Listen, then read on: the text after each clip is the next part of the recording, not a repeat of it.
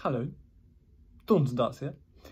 Um, back with another video today. I'm going to be talking about my day one of the development tour. So, um, I'm at the PDC development tour in Barnsley, uh, events number 5, 6, 7, 8, 9, 10. I think cause there's two every day, Friday, Saturday, Sunday. They've crammed it in a bit because of uh, COVID-19, because um, we missed a few of the events across the year. Uh, I think these are the last ones, and the World Youth Qualifier is on Monday as well. So uh, a lot of people trying to qualify for that as well. But uh, yeah, I just thought I'd summarise my day one for you guys. So if there's anyone out there that's just interested in what happens, because it's not something everyone sees unless you've played it. And um, if there's any youngsters out there just wondering whether it's something for them, I'll just tell you how I found it. And maybe you guys will decide to come along as well. So let's start at the beginning. Woke up at about seven o'clock this morning. Uh, set an alarm, got showered, got I've already got my shirt on, and then uh, went down for I went Premier Inn, so I went and got breakfast. Got a Premier Inn full English, very nice. Uh, I had two bacon, two sausage, uh, beans, hash browns, uh, and some toast. But uh, I wasn't really a fast eater, so I took my time, and then I realised what the time was, and um, went and got um, went and got ready up back up to the hotel and I actually left a bit of toast. So if you're watching bit of toast, I'm sorry I left you. Um, and basically then we walked down to Barnsley Metrodome from here. So it was about 15 minute walk. Not bad, but it was cold. It was like pretty early in the morning. It was quite brisk, but uh, it's quite a nice wake up. Kept me awake uh, in the morning. You get to Barnsley uh, at the Metrodome and there's a side entrance you have to go through because of um, the restrictions. is a different entrance and we went in and um, outside you queue up to sign a questionnaire and get scanned in um, to have your temperature taken.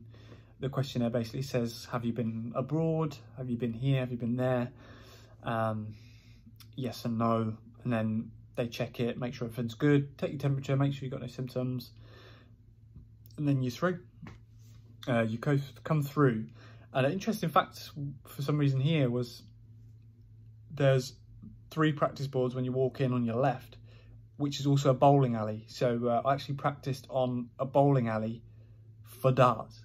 It was so weird. There was just uh, at the start of the bowling alley, you know, when your family's sitting, you type in your names like Uncle Rob.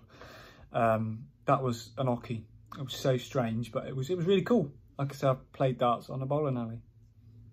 Not many people have done that. um, and then you come through and you have to find a seat now seating was quite limited uh, where they all had darts. Usually they split the room in half and they'd have tables in the middle, but you have to spread them out at these events now. So um, there wasn't like set tables. So there was tables there, but there wasn't many of them. Uh, there wasn't many chairs. So we ended up actually basically sitting on the table with our stuff sort of in the middle. So not ideal, but uh, you know, it happens. Uh, I'll get there earlier tomorrow so I can get a seat. And um, yeah, you get there, you get practice, you say hello to everyone. Everyone had to wear a mask all times unless you're practicing. So um, that was quite interesting. And then you you you wait for the draw then basically. First of all, they stuck the board. Owen Binks, Mr. Big Feet on the live stream, you may have seen him. he um, puts all the sheets up on the wall and it tells you what board. And when Darts Connect um, all syncs up. You can then see your board number from a bit of sheet and then you can go through and see who you're playing.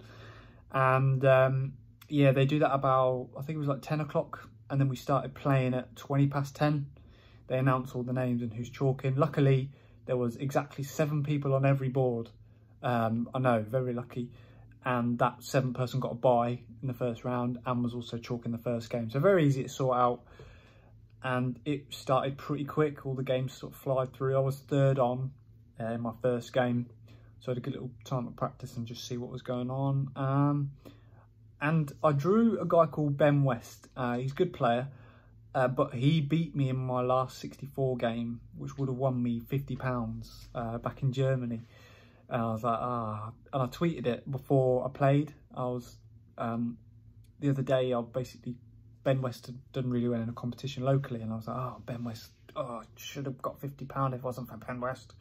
And um, I then drew him, which is just typical luck. It's like Matthew Edgar drawing Darius Labanauskas in the first round of the Worlds again. Uh, and I lost again, just like that. So sad times.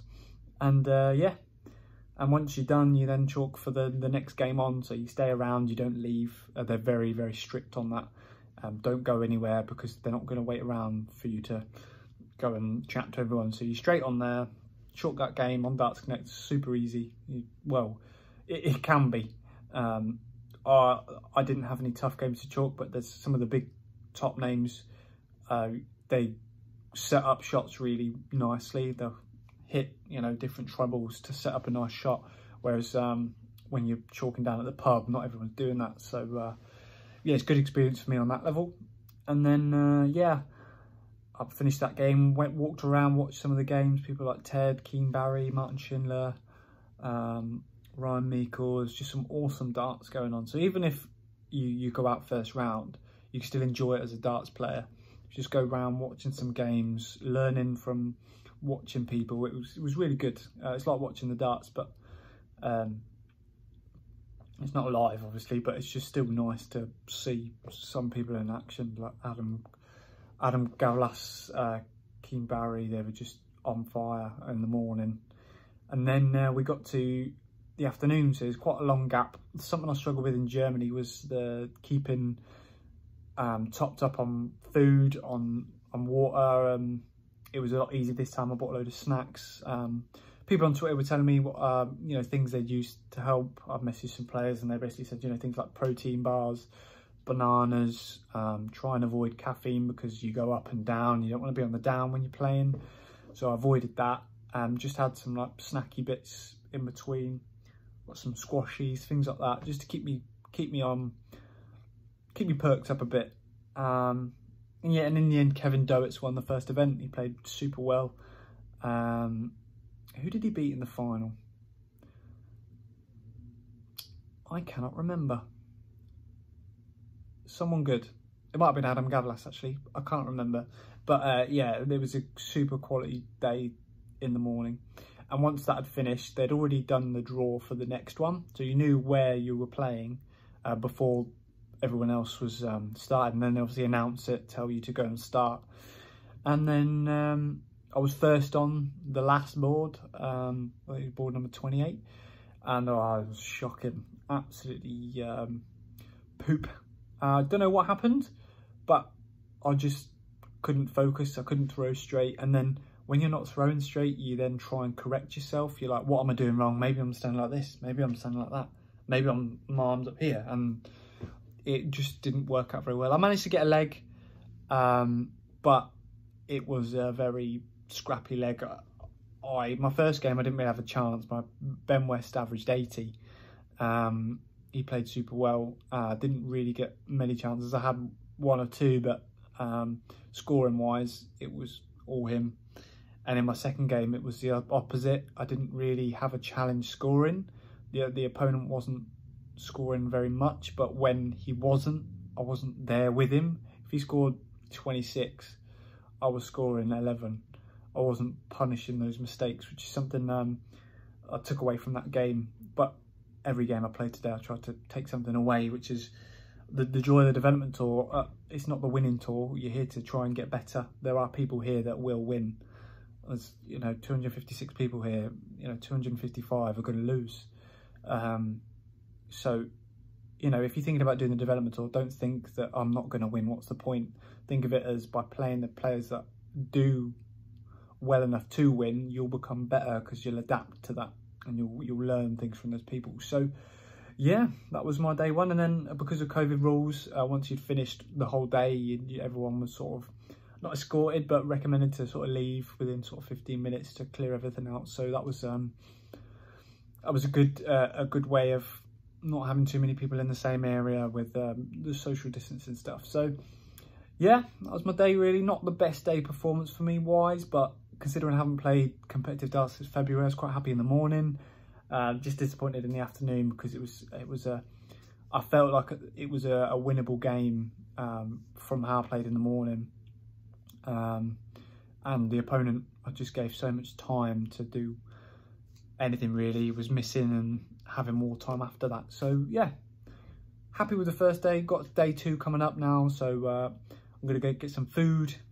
Um, and then get, get an early night, get ready for the morning. Uh, I've been practicing a little bit on my travel board. I'll just show you that quick. Uh, nice little board set there. No surround, quite brave. But yeah, oh, hello.